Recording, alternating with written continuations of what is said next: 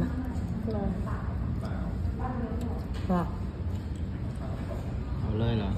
เอาเลย นี่ ทุกคน นี่มันจะเป็นลักษณะแบบนี้นะ นี่คือแป้ง มันจะแป้ง แป้งกรอบกรอบๆมาแช่น้ำก่อนแช่น้ำให้ทุกคนทำเหมือนรู้นะ สองปีแล้วเพิ่งกิน นี่เรียกอะไรเนี่ย เขาเรียกอะไรนะกระเบื้องยวนเอ้าอ่าไม่กระใช่ เบื้องอยู่ เขาเรียกว่าเมี่ยงอะไรเขาเรียกอะไรอะมุกก็บอกดิน้องไม่รู้ สั่งไปก็ยังไม่รู้เลยว่าเขาเรียกว่าเมี่ยงคอะไรที่มันห่อห่อๆเขาเรียกเมี่ยงหมดอะำอืมเอาเลยใส่เลยนี่นะคะ อะไรอะไรยวนอะแหนมเนื้อง แหนมเนืองเออนี่ไงชื่อร้านเขานี่แหละ แล้วเขามีลูกชิ้นนะคะ นี่เป็นเหมือนลูกใส่ชิ้น ขิงใส่ลูกชิ้นชิ้นทำจากหมูแล้วก็สับปะรดสับปะรด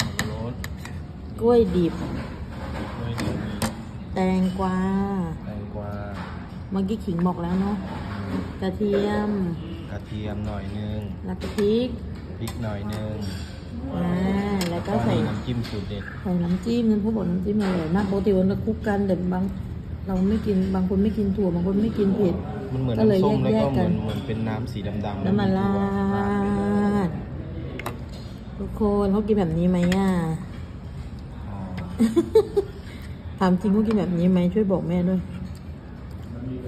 ไม่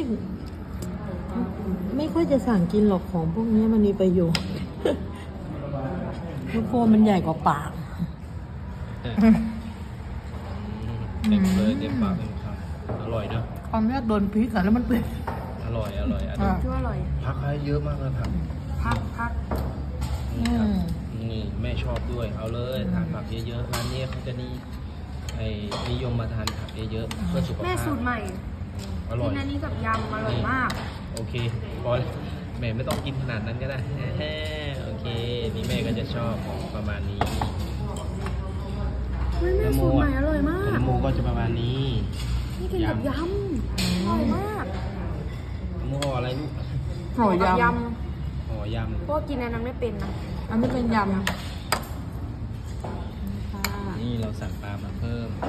กันหนูนี่ปลานิลทอดสมุนไพร